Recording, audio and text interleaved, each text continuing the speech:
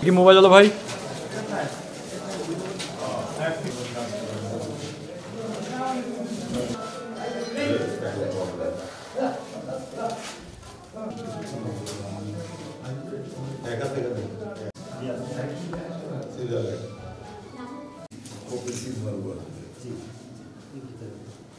দিয়ে ধরে রাখেন।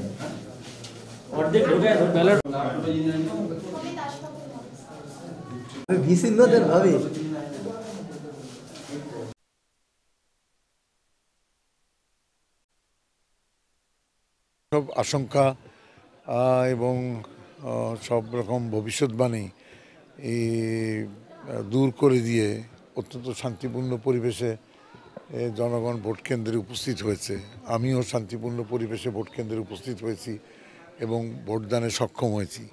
সুতরাং এখানে যারা ভোট বানচাল করার কথা বলেছিল আর কি এই তাদের কোনো আন্দোলনের প্রভাব আমি অন্তত আমার এখানে দেখিনি এবং এখন পর্যন্ত সারা নির্বাচনী এলাকায় তেমন কোনো ভোট বানচালের কোনো ঘটনা দেখিনি আর কি।